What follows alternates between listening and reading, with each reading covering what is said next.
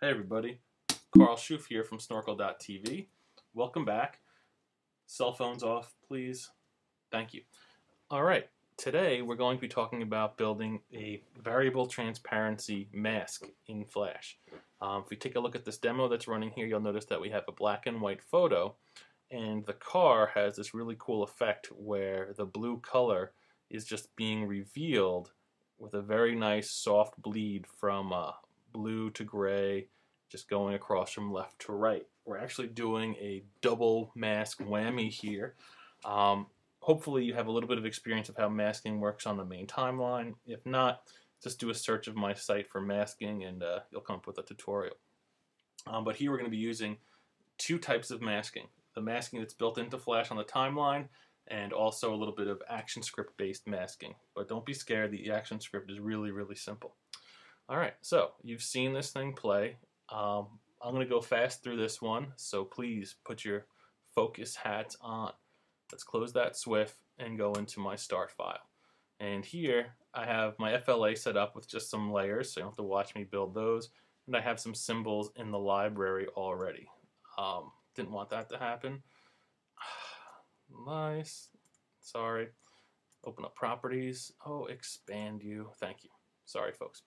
And here we have a bitmap image of the car. We have a movie clip called Car Black and White, which will eventually be a black and white version of the car, a color version of the car, and this shape that I've pre-drawn of an outline of the car. So here, let's start out by in the color layer, I'm going to take the car color MC, place it on the stage. Command K is going to get me my align panel, and we'll just smash this sucker to the top left edge of the stage. And this here is a movie clip, and inside that movie clip is my bitmap. Okay, so it's just a movie clip that contains a bitmap image. I'm going to give this movie clip the instance name of color MC. That'll come in handy later. And let's talk a little bit about masking. A mask allows us to draw a shape that will reveal objects beneath it. So here we have color MC, and in the mask layer, I'm going to zoom out a touch and I'm going to use my rectangle tool to just draw a very basic shape. All right, use my rectangle tool. We'll use the solid color like this bright green.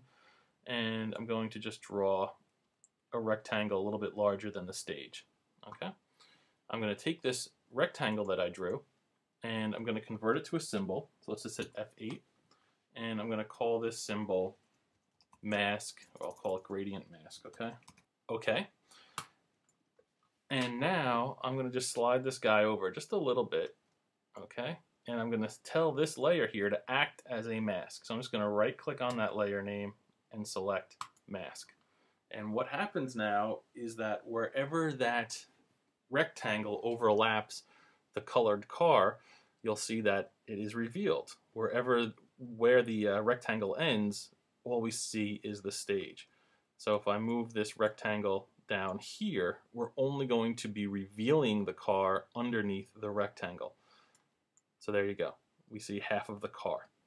Now, if I wanted to do a variable transparency mask, maybe I don't want to have this really abrupt hard edge. I want to have the car sort of fade out. Well, we can do that, but not with a timeline layer mask. So let's go into this clip here and I'm just going to go to the color panel and I'm going to make this a gradient now. So let's go choose a linear gradient and I'm going to set both colors to be black. It doesn't matter what color I use, but you'll see that they're both black at 100%. Not much of a gradient. Um, we'll put another black chip in right here and we'll just set this chip's alpha down to zero. All right, so now you can see that we go from 100% black down to no black whatsoever. You see a little bit of a fade here. Well, adding this alpha fade to the mask clip has no effect really. You can see now that there's a soft edge here, but if I turn masking back on, as far as flash is concerned, it's either on or it's off as far as the pixels are concerned. Either you see them or you don't. There's no in between. So even though my mask is made up with a gradient Flash doesn't care. So let's show you how we're going to get around this. I'm going to turn off masking on this layer. I'm going to make sure that we have color MC as the movie clip name, and this guy here I'm going to call um, mask MC. All right, now a little bit of ActionScript is going to allow us to have a feathered soft edge mask. In my actions layer, we're just going to open up the actions panel. Let's bring it over here. And I'm going to set both movie clips to have their cache as bitmap property equal to true. All right, I'm going to tell the mask MC that cache as bitmap equals true as well. And this just tells Flash that, hey, these things are definitely bitmaps, and once they're bitmaps, the masking can work the way we want. I'm then going to tell the color MC that the mask that it should use should be the mask MC, which is our gradient. Now on the timeline, things don't look any differently. But when I test my SWF out, there you go. You'll see the car sort of fades out. So where it's 100% black in the mask, we see 100% of the car at full alpha. But as that amount of black, its alpha decreases, you'll see that the car appears to be fading out. So this is actually pretty cool. I'm going to go into my timeline and slide this guy over here, test again, and then you'll see we only see a little bit of the car because that gradient is now revealing just partial bits of that image. Now in my final version of this, we're going to want to have a tween happening here. So let's just go out to frame 50. I'm going to do a slow tween here so that we can actually see it happening. All right, and in the mask layer, let's just put a keyframe real quick, F6, and we're going to slide this guy all the way over to here, okay? Create our classic tween, and let's test our movie. And now you can see that as that mask slides, it has that nice blurred fuzzy edge on the end. It's not that hard straight line. So now you'll notice that wherever the mask isn't, we're seeing the white background of the movie. Well, let's turn off both these layers here, and I'm going to take my car black and white movie clip out of the library, and we'll place it on the stage in the black and white layer. And we'll also go to the align panel and make sure it's perfectly to the top and to the left. All right, so follow me here. This movie clip in the black and white layer is now going to have a color adjust property on it, adjust color filter, I'm sorry, and it's going to be desaturated. So here's the way this is going to work now. Wherever the mask isn't, we're going to see black and white.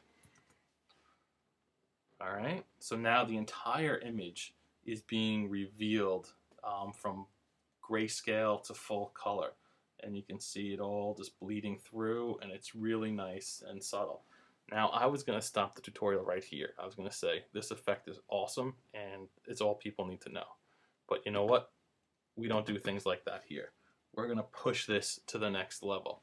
And what I want to do is not have the bridge turn red and the ground turn brown. I just want the body of the car to be blue. And so here's where some more mag magic happens. And what I keep telling people about Flash is that I just love the way you can take very simple concepts and then combine them together and get something that's totally awesome. So let's close this SWF out. And what I'm going to do is this when this gradient moves across the stage, I don't want it to affect the bridge or the sand here that we have on the ground. I only want it to affect the body of the car. So I'm going to go into the color movie clip, double click on it, and here's the bitmap of the color image. I'm going to add another layer and I'm going to go to my library and I have this symbol here called detail mask. Now I took a few minutes to draw this outline of the car as a vector using the pen tool. Um, it would take way too long to do that in a video. Um, I do have a tutorial on using the pen tool, how to draw an umbrella with the pen tool. Very basic, but uh, the pen tool is one of these beasts that you just really need to start slow with it, and then you'll get the hang of it. Now my mask shape is a little bit rough here, but it's okay. Um, it doesn't matter because a lot of the edges are hidden in the black of the tires and some other stuff. So it's going to look really good even though I did a pretty quick and scrappy job here. Let me just align it the best I can. All right. And now this layer here the shape that I just put on the stage, this movie clip, I'm going to tell it to be a mask. So now the color movie clip, you'll see what's happening, right?